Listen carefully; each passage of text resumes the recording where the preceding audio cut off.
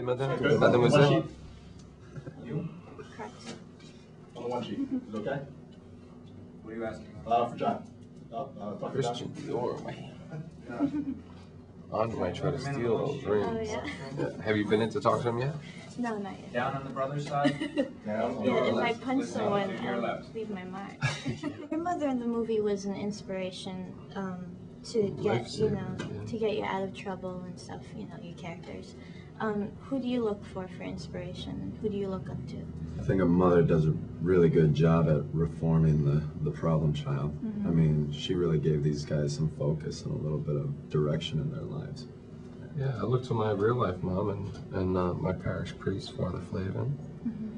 I've been very fortunate to have a lot of, even despite all the craziness that went on in my life and all the trouble that I got, I had a lot of positive people around me that really cared about me. So uh, I was fortunate that I was able to recognize that and turn my life around. That's good.